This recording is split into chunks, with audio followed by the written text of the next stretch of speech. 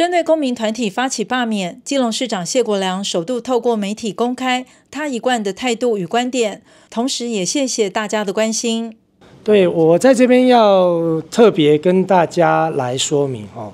我们自始至终都不赞成罢免这件事情，不管是我本人或者是其他的公职人员、民意代表，我们是不赞成。而且是反对罢免这样子的一个啊情况，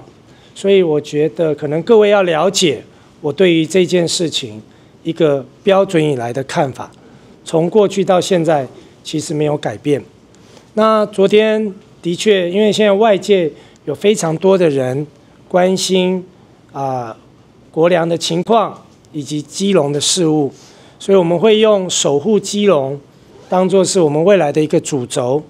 来把我们的啊市政论述好。那今天就来告诉大家，我们基隆将会成为一个音乐城市，不但有好的演唱会，也有好的音乐空间。所以，我们不会去做任何伤害基隆情感的一些情况，也要跟所有的市民朋友、跟所有的媒体朋友做最清楚的论述。